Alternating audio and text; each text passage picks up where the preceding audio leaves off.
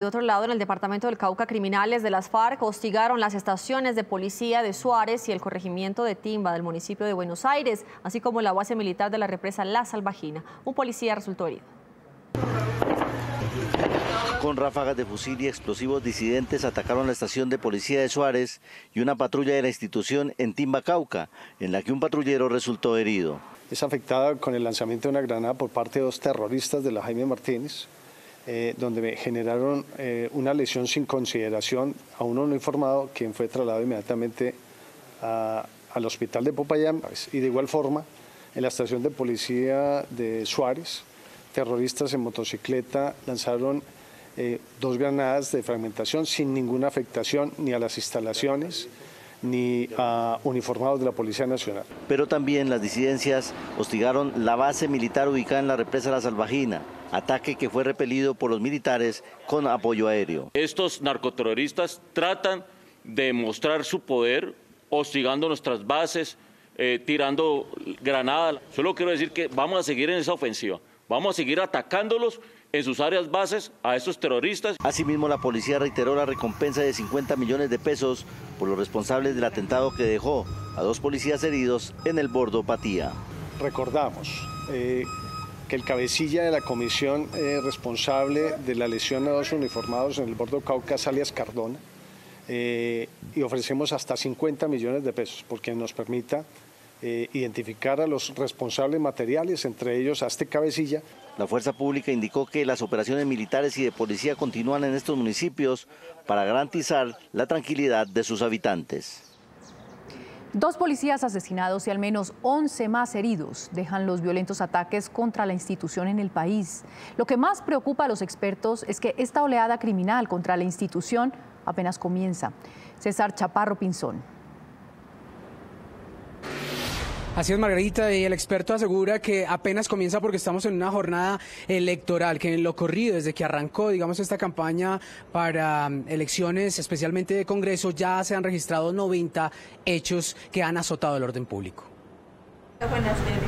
Mira, ese negrito, ese que ven allí en negro, él cae. El testigo relata cómo fueron atacados a tiros dos policías en el Cauca. Lo salvó el muchacho, güey. Lo salvó el policía. El venezolano, eh, pero lleva el tiro en el pecho. Eh. Según los testigos, en el ataque, los sicarios no solamente hirieron a dos de los uniformados, sino también a un ciudadano venezolano que al parecer transitaba por la zona. Lesionando a dos de ellos, afortunadamente, en forma leve. Fueron conducidos inmediatamente a, a la ciudad de Popayán para que fueran atendidos en donde se recuperan de las heridas. Este vil atentado y cobarde atentado se sindica alias Cardona, cabecilla de comisión de el Gaor Carlos Patiño. Este fue uno de los cerca de 10 atentados que realizaron las bandas delincuenciales contra los policías en varias regiones del país, que este fin de semana deja dos policías muertos y 11 heridos. Estos ataques se suman a los casi 120 que se han presentado en 11 departamentos en lo corrido de este año. Hay una coyuntura muy difícil, la confluencia de tres violencias. Una, una campaña militar del ELN que eh, mezcla acciones urbanas, acciones rurales, plan pistola. Otra, y es eh, un reacomodo de las disidencias de las FARC, sobre todo en el, en el sur del país. Y por el otro lado está también toda la descomposición del clan del Golfo. Y ahí hay un ingrediente, y es que muchos actores políticos que están en la disputa electoral ahora entonces se alían con un nuevo otro actor violento para producir hechos contra sus rivales. Situaciones que se viven especialmente en regiones donde hay gran presencia de esos grupos. Arauca, que pues ahí hay una disputa enorme. Cauca, que hay una disputa enorme y, digamos, eh, los, los, los, los departamentos del Oriente. En Antioquia, en el Magdalena, hay también un alto registro de, hechos de violencia, de manera que son lugares donde venían desarrollándose microguerras y que ahora se intensifican por la campaña electoral. Y es que estos grupos, explicó, eligieron zonas del país donde la presencia de la policía es muy reducida. Porque es un blanco más fácil que el ejército, primero, y porque El posconflicto exigía una presencia más variada, digamos, de la, de la policía y, del ejército en zonas claves que dejaron las FARC en ese momento de desmovilización y desarme. Y no se cumplió con un plan eh, nacional para ocupar sobre todo mm, centros territoriales. León Valencia hizo un llamado al gobierno para que emita un plan estratégico que evite la muerte de más civiles, policías y militares en plena campaña electoral.